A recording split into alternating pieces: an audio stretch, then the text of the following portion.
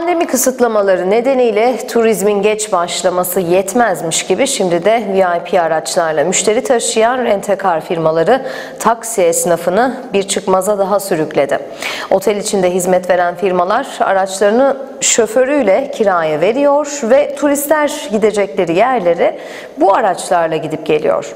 Tek geliri turizm olan bölgedeki taksi esnafı ise gün boyu taşınan yolcuları elleri kolları bağlı şekilde izlemek durumunda kalıyor.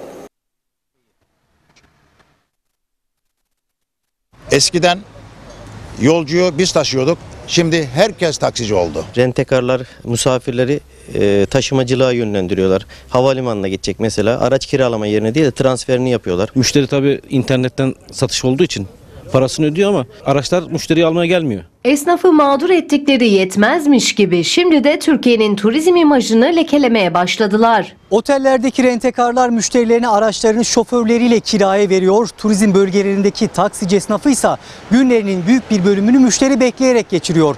Taksici esnafı sorunun çözüm için düzenleme istiyor. Buna bir devletin vallahi bir el atması lazım. Yani biz çok mağduruz bu durumlarda. her otelin içerisinde rentekar var.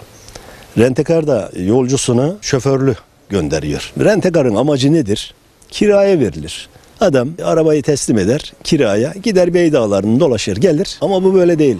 Taksi durağında bizler nasıl şoför tutuyorsak onlar da aynı şoförü tutarak devam ediyor. Yani bunun önlenmesi lazım ya. Burada yani mağdur çok sayıda e, sarı taksi esnaf var. Antalya'nın Kemer ilçesindeki taksiciler korsan taşımacılık yapan rentekar firmaları yüzünden zor günler yaşıyor. Rentekarların taşıma belgelerinin iptalini, ondan sonra taşıma şirketlerinin her, herkese D belgesi vermesinden dolayı da mağduriyet yaşıyoruz. Eğer bizim halimizi görüyorsa kemere bir düzenleme gelmesi lazım. VIP araçlar 10 müşteri taşıyabiliyor. Havalimanlarından alınan müşteriler 80 dolar karşılığında kalacakları otellere götürülüyor. İçeri giriyorlar, alıyorlar, gidiyorlar. Biz kapıda bekliyoruz. Sadece geçerken görüyoruz yani. Hiç elimizden bir şey gelmiyor, bir şey yapamıyoruz. Kemer Ulaştırma Hizmetleri Odası Başkanı Mustafa Tıraş denetimin yetersiz olduğunu söylüyor. Denetim yapılmazsa çok sayıda esnafın aracını evinin önüne çekmek zorunda kalacağını söylüyor. Denetimde bir sıkıntı var. Bu sene pek denetim olmadı. Neden olmadı? Büyük bir yangın vardı.